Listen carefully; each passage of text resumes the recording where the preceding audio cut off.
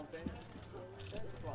Очакванията за официална среща между Доналд Тръмп и Владимир Путин не се оправдаха. По-рано Белия дом обяви, че работните им графици няма да позволят това. Двамата обаче си размениха по няколко думи и застанаха един до друг за общата снимка. Те също така се ръкуваха на вечерята, организирана за лидерите на форума. Тръмп и Путин са одобрили съвместно изявление за Сирия. В него двамата президенти призовават всички страни да увеличат приноса си за покриване на нуждите от хуманитарна помощ. Те потвърждават и решимостта си да нанесат по поражение на Исламска държава и да поддържат действащите военни канали за връзка с цел осигуряване безопасността на въоръжените сили на Съединените щати и Русия, както и за избягването на опасни инциденти с участието на силите на партньорите, които водят борба с ИДИЛ.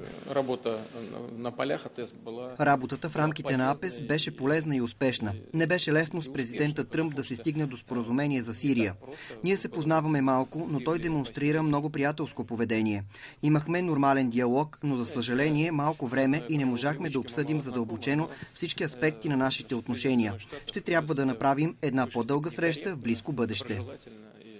Кратка среща в колуарите проведоха американския държавен секретар Рекс Тилърсън и руския министр на външните работи Сергей Лавров. А иначе на форума бяха договорени основни елементи от споразумението за транстихоокеанска свободна търговия, в което се включиха 11 страни, но без Съединените щати.